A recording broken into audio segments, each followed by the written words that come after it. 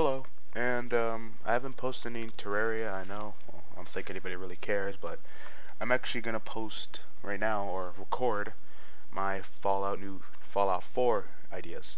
Things that could have been implemented also in Fallout 3 and New Vegas, things that they could have added to make the the Fallout world, you know, how dangerous it is and how much you have to survive, into the game, how much they could make you feel like, okay, I have to do this if I want to live, you know, without having to save every time I go out through a door.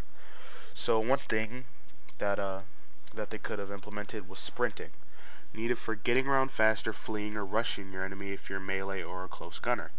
Sprinting was a nice addition to Skyrim and will be a fa B2 Fallout as well in both Fallout 3 and Fallout New Vegas, if you didn't have your desired location able to be fast traveled to, you would either just procrastinate or pick the closest location and slowly walk slash jog to the desired spot. The regular pace your protagonist would go is slow and can make the game feel boring. Even with random encounters being implemented, the, follow, the Fallout world can still have a certain emptiness that would make you not want to walk such a distance. Number two, take away take away weapon and armor conditioning, or nerf the rate of weakening. Um, on a, uh, Weapons shouldn't break at such a fast rate from firing them. Armor may break after getting shot up and should make you more vulnerable to gunfire and explosions. Like, it makes sense that, you know, armor would deter, but guns, even though they're old, rusty and stuff, they're still guns made out of metal and wood. They should be sturdy and shouldn't, like, shouldn't break down at such a fast rate. Maybe they could make it similar to Skyrim where the weapons don't break, but they could keep armor breaking because of, you know, gun wounds.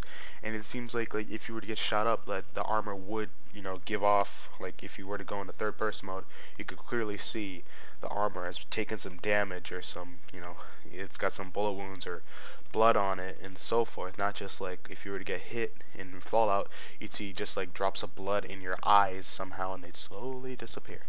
Alright, number three, weapon variety. Like, you know, it completely makes sense and they can do it if they feel like it. Just, you know, there wasn't much of a gun variety for assault rifles or SMGs in the Fallout Wastelands. Fallout New Vegas did add more guns, but more guns should not be out of the question. The light machine gun from Fallout New Vegas and the regular assault rifle or the Chinese assault rifles from Fallout 3 were my favorites to use, as well as the 12.7 SMG from Fallout New Vegas. Pistols as well Buh. Pistols as well that could be fully automatic or burst fire. Burst fire weapons can, all, can fall into a large variety as well, while only dealing burst fire. They, they deal high damage but with a low magazine, maybe low damage, fast reloads, and fast fire rate. Fire rate, burst fire, damage output, magazine size accuracy, or even that special effect that the gun deals when it shoots. Giving off a gun variety can make the can make the player feel like, okay, this is my favorite gun. I'm going to keep it around for a while. And oh, hey, look, there's this gun and that gun and this gun and that gun. Not like, oh, hey, a 9.0 millimeter SMG. Oh, hey, there's another. Oh, there's another. Oh, hey, wow, that's pretty rare 10 millimeter. Kind of like that feeling. Oh, hey, that pistol. Or, oh, hey, that person might have had that gun. I, you know, I've been actually looking for one of those. Like, guns could have certain rarities to them and better damage, or the common gun to the more special gun that's pretty hard to come by. Um, Number four on my list is armor variety. Excuse me. Armor, arm, armor should have a larger variety that can be used for stealth combat and so forth. For example, hooded robes for improved stealth and increasing speed or sneak attack damage, similar to the ranger combat armor but with a hood that is based on light armor and stealth attributes. Or you could have bulky slash heavy set heavy set looking armor that improves heavy weapon damage and has high endurance but makes you slower than usual, similar to like Enclave or or uh, Brotherhood of Steel armor. Let's see, where was I? Maybe even head apparel like gas masks, hoods, hats, helmets, glasses, rebreathers, goggles, or sunglasses. They did a pretty good job on the hat subject, just, you know, maybe a little bit more. Alright, now there could be like battle tactics on on number 5 on my list. While an enemy has a bat and you have a gun, you can use your gun to help win a battle. A fiend would come at you with a bat or a knife while clearly not car caring if you have a gun. Maybe if you pointed at them, it could unlock or start a special dialogue menu to make them beg for the life, or maybe if high enough speech, make them offer things in exchange for the life. If you let them go, you gain good karma, or you could just kill them, lose karma, and loot their body as normal. Or maybe you just don't lose, you know, karma because, you know, you killed them.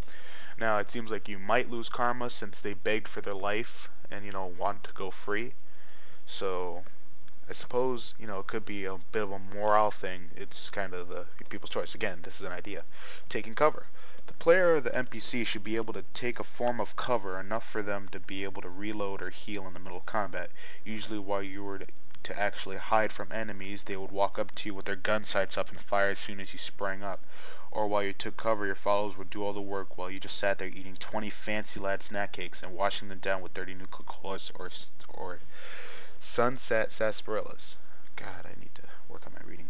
Hostages. The player should be able to force an NPC on the ground and take them into a hostage situation, using that using them as a living meat shield, or to make a negotiation with an enemy NPC. Or maybe that's just too complicated. It's better than better to just shoot them in the face. Okay, next page.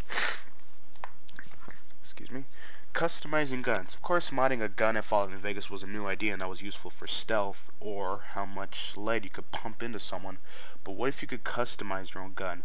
Now, it might seem like a stretch, but what I'm saying is having a gun with a custom name and maybe customizing the color of and the name of that gun being engraved on the side for you to see. Maybe other special guns you find while adventuring on the wastelands could have those features. So like, you know, like, oh, like, you know, like, uh, like one of those, like a special weapon they find, like Annabelle, or, you know, like, a, like, you could just, like, get the gun and have it specially engraved. It may even cost you money, or you could do it yourself if you got the perk or if you got the perk to be able to do that in the first place at all. Okay, next one is armed robbery. Armed robbery. Every now and then you may have a random encounter of a prospector or some other random explorer of the waste.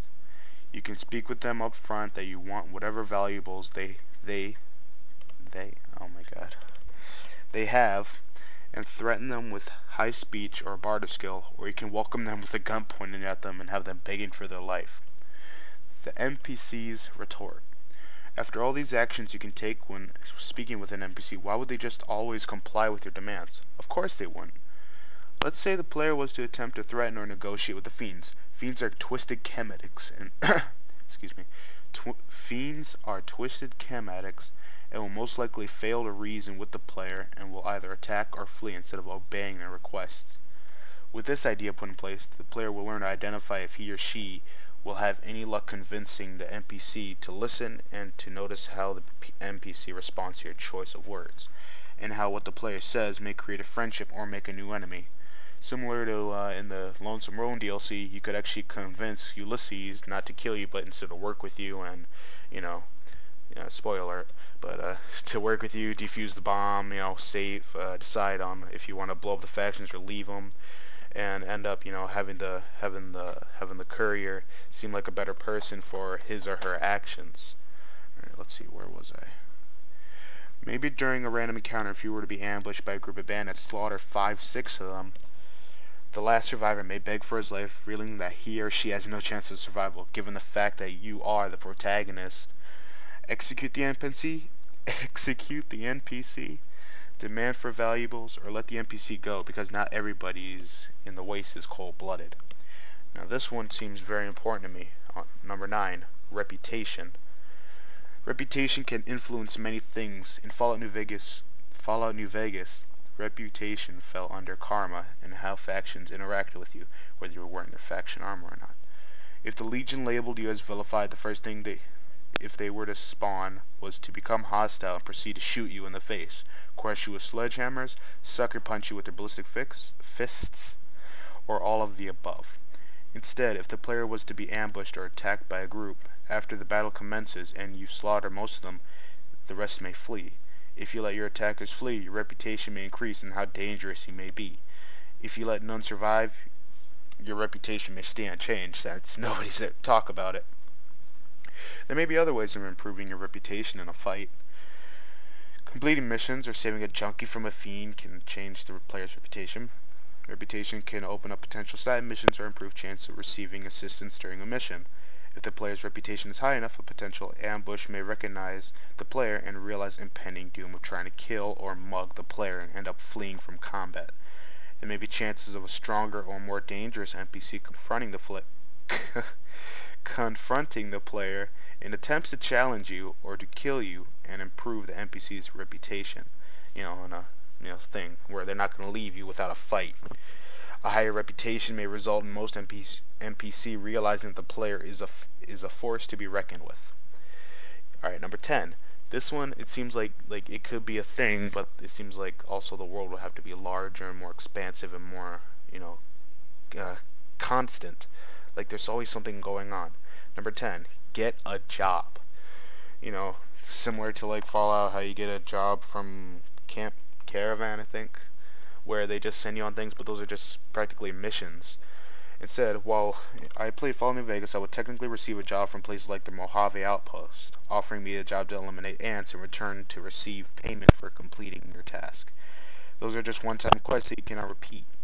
So my thought is that you can receive a job. For example, to escort a caravan as a guard, go kill a target, go out look for a requested item, or deliver a package, her her carrier.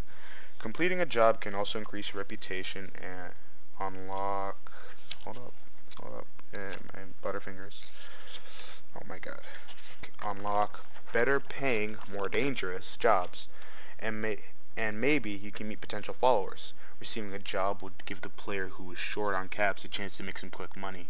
During a job, random encounters may increase. For example, escorting a caravan you were to be ambushed by an enemy business, or if the player was to kill someone, have a rival NPC try and kill him before you. The player may kill the rival if he is success successful and still receive the payment and the player can loot the rival's body. So let's say you kill the let's say you kill the target, the target the rival instead will try to kill you. But let's say the rival kills your target and gets away. You're not getting paid. But instead, well, maybe you could still get paid if you, you know, speechcraft or uh, or perks that would like threaten them or, you know, seductive. Or, uh, but let's say the rival were to kill kill your target, but then you kill the rival you could you could get both like you know two birds with one stone get rid of one potential you know nuisance and it still practically counts as your uh, target since you know the rival's not there to prove anything you go back you get your money and then you get another job and a better job and so forth sorry alright number 11 NPC reactions and comments as a Fallout fan, I wouldn't mind if an NPC would have more of a role than take this, or you like the sight of your own blood. Maybe the NPC follower could warn the player other than saying their battle cry and shooting. The follower could warn the NPC of how many threats there are, what types of weapons they are using, and how much of a threat they, they may be, whether for the reason to want to take cover, whether they are a reason for the player to want to take cover before battle. When you die, maybe the NPCs, whether follower or enemy, make a comment upon your death.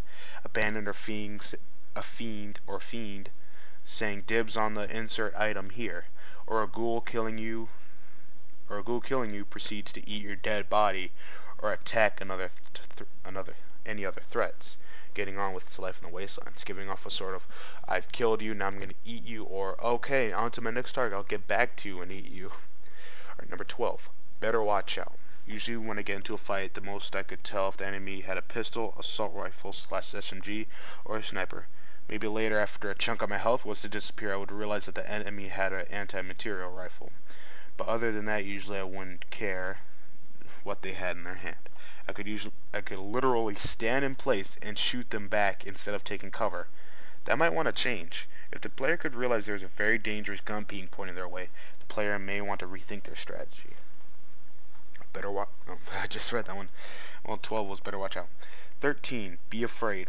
Mostly in the Fallout world, my biggest fear was to fight Deathclaws, and in Fallout New Vegas was basically one location, Quarry Junction. That that I was to look out for, besides the Lonesome Road DLC, you know, which part if you played it. In Fallout 3, doing going down into a train station and sewers, encountering ghouls, gave a creepy environment to the game and was successful with me. I uh, didn't actually beat Fallout 3 until I beat Fallout New Vegas and getting the courage to actually beat Fallout New, Fallout 3 to which I didn't have enough money to get the DLC to let me keep playing after I beat the game, so I was pretty mad. But, uh, more common than, okay, so was successful with me, but maybe there should be more than just the common goal to watch out for under the streets. Adding more enemies that include a challenge and offer good loot if you bring that enemy down. Some players may even choose to avoid such a tough enemy. So it seems like, like, you know, since you are one tough customer, there could be other tough customers out in the waste that also look like they've survived just as much as you have. you know, the higher level you are, similar to Skyrim, the higher level the enemies will be down there, or even up, or maybe even like uh, similar things like that. Like just, just more like, okay, I have to do this. Like it's my choice if I want to get to that. Like, like let's say there's a job and you know the, the target has a bodyguard, or the targets or the rival may be that one tough customer that you have to get rid of. All right, number 14. Boom, headshot. When I played Fallout 4 while sneaking, Fallout 4 while sneaking, uh, when I played Fallout while sneaking, I would usually go into VATS for a more likelihood of scoring a headshot. If I was successful at blowing my enemy's head off, their head would either explode, they would either explode, they would just suddenly fall down, make a uh, sound, or my gun would shoot out a scythe and decapitate my enemy somehow. It may be a little unrealistic, but my enemy was dead but if, it, if your gun wasn't strong enough, a clear bullet to the head still wouldn't do as much damage even though the bullet to the head would normally cause some damage. A headshot should deal some damage. VATS or not, whether the player has good aim without VATS should determine the damage output of a headshot. A headshot is a headshot. You should see some, oh my god, I just been shot in the head. You know, I mean, enemies that have armor on their head, you know, that's the thing. Like, if you see an enemy without armor on their head, that's something you should shoot for. All people are the same, some are just tougher. And a headshot should deal some noticeable damage. Alright, number 15, Weather and Protection. Fallout New Vegas DLC Honest Hearts implemented rain effect, and it was nice to see and would also be nice to be seen in Fallout 4. For example, normal unirradiated rain that has a clear color with clouds that are normal. Then there can actually be irradiated rain that adds one rad per sec. Next to thunderstorms, with or without radiation, leaving puddles of rain that will eventually despawn. Oncoming weather hazards should be obvious to the player unless said player is venturing out of a cave and happens to be unlucky enough to be caught in the middle of an irradiated thunderstorm. An unstop oh my god, excuse me. An, unsto an unstoppable occurrence that the player cannot stop may give off a more survival importance in such a harsh wasteland. Like, um, what's that one's DLC? Um, it was the first, it was the first Fallout New Vegas DLC. Oh my god. Like, I hated that DC DLC, I really did. But it, it was like a good DLC, you know, the story was enjoyable. But I, I, was really creeped out, and the fact that the holograms, you know, and so forth. Uh, what was that one DLC? Well, if you know what it is, I'm gonna keep thinking about it. But you, if you were to there was like smoke clouds and those things you know cause some damage to you if you walk through them similar to that like like while you're out in the rain you know that but instead of just killing you and so forth uh, trying so hard to think of that DLC um uh, oh my god honest hearts lonesome road uh, uh oh I just had it Come on. Honest Hearts Lonesome Road. Wasn't there another one after that? There was like four DLCs. Uh, Lonesome Road. Oh god, why can't I even remember the sciency one? Oh, come on. Uh, Old World Blues. That was a sciency one. But, come on, come on. Uh, De dead, dead, dead? Something with dead. Dead Money? Dead Money, I think so. Dead Mo Yeah, I think that's it. Dead Money. With the Dead Money DLC, yeah. Okay, so number 16, VAT stances. Usually if you're going to VATS, pick your target and fire, the player would be just seen looking down the sights with an angry face and firing. Simple, but if you were to score a score a kill shot, the camera the kill camera would have more of a movie style view with the bullet seen shooting towards the enemy. Maybe when you're shooting, you could take a better stance with your guns, like a pistol, one-handing it while you shoot three enemies in the head, scoring a triple headshot.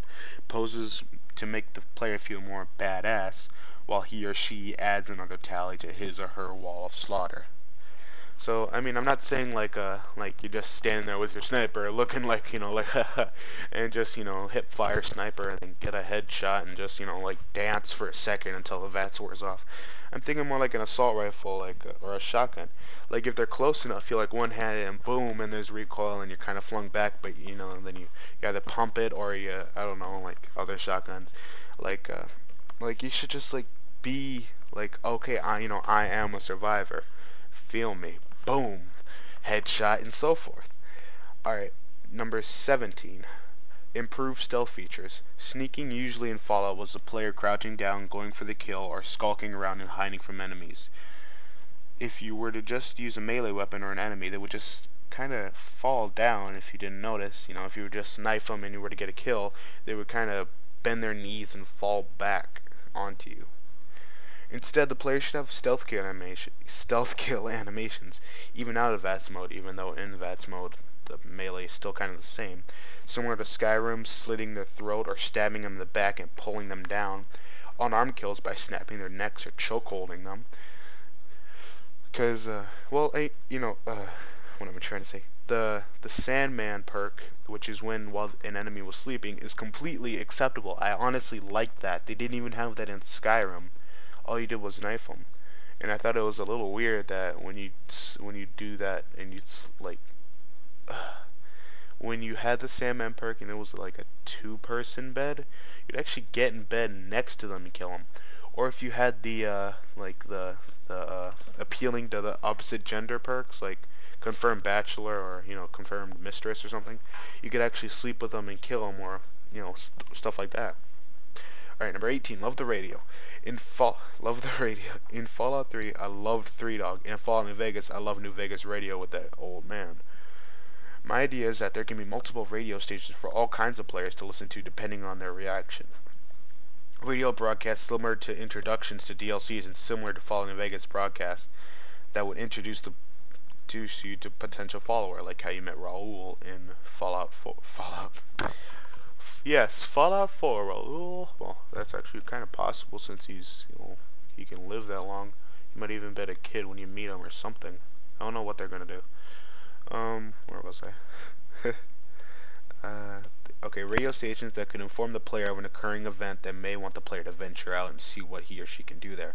For example, a bandit raid in insert city here, or an enclave scout reported around insert location here.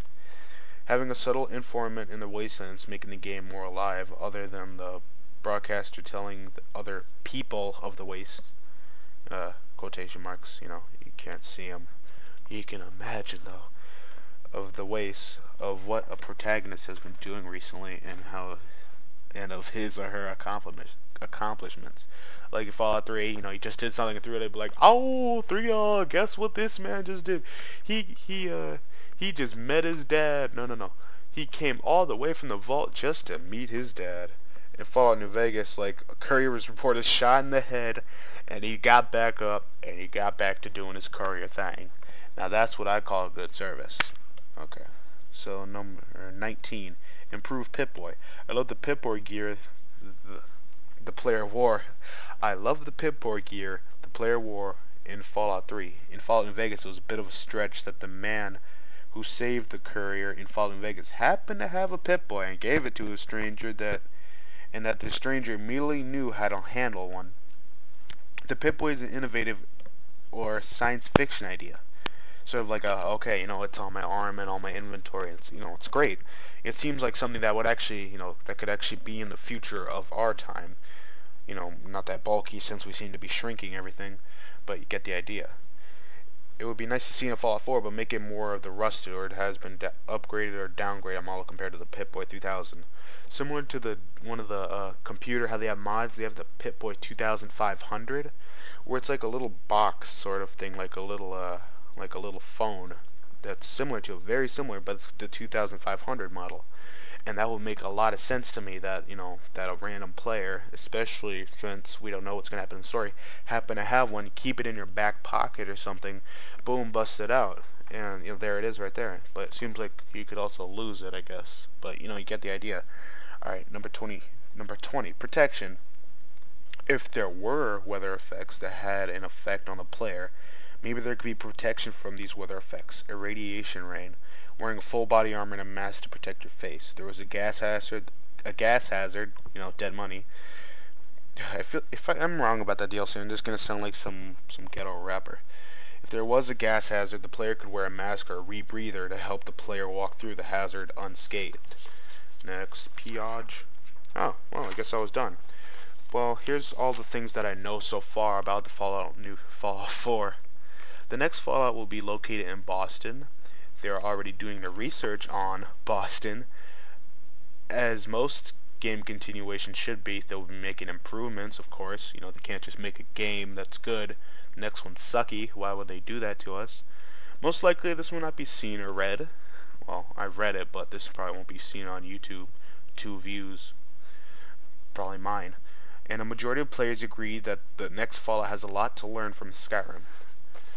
I'd like to thank you for listening to this if you actually did. I'm not sure if this will actually get any views. I actually went through all the hassle of uh, like typing this down, printing and making some edits, tearing up the original print, throwing it into the recycling bin, and printing another new one out and finishing this bad boy. And after this, I'm probably gonna lock this away or tear it up again and throw it into the recycle bin because I love the trees, even though it's quite a waste of ink. Unless it does get views, and I could make more. I might start posting Terraria if this actually does get at least I don't know, like 20 views. I don't I don't know. I just want to like you know, it's nice to have ideas. Even though they probably won't be taken in consideration, I'm not gonna like give them like, oh hey, maybe the story could be like this, or maybe you can meet the courier. Or that's not the kind of thing I want to happen because it's their story, it's their idea, and so far they've been doing a great job. But these things they're most likely going to implement mostly sprinting and weather, and maybe uh, maybe more uh, clever things the player could do when when you know venturing out into the waste.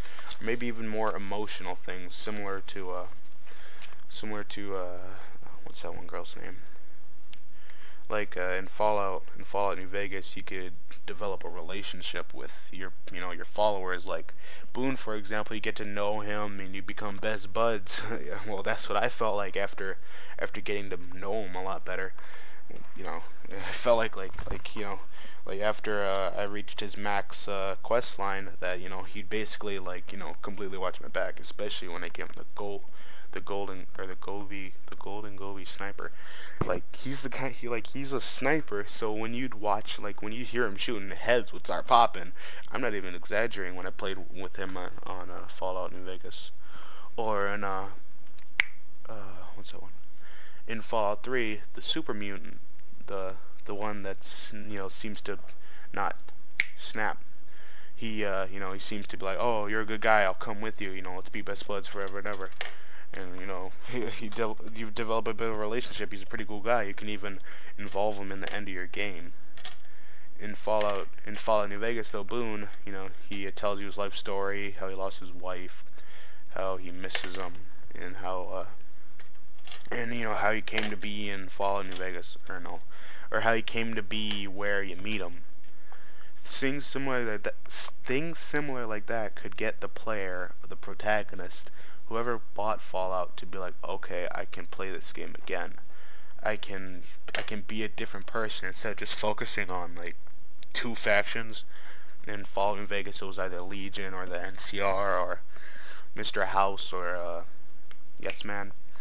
Seems like like you have you have your own ending.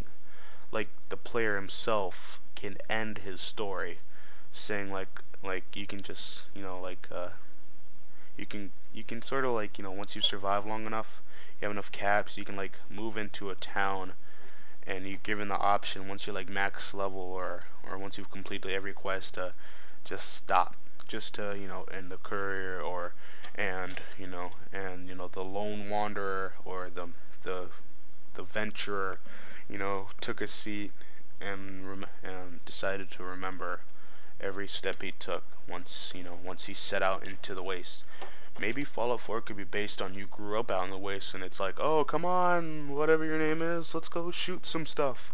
And, you know, shoot some stuff and so forth. Alright, I'd like to thank you for watching this. I guess subscribe, especially uh, leave some feedback or comments. Um, thank you.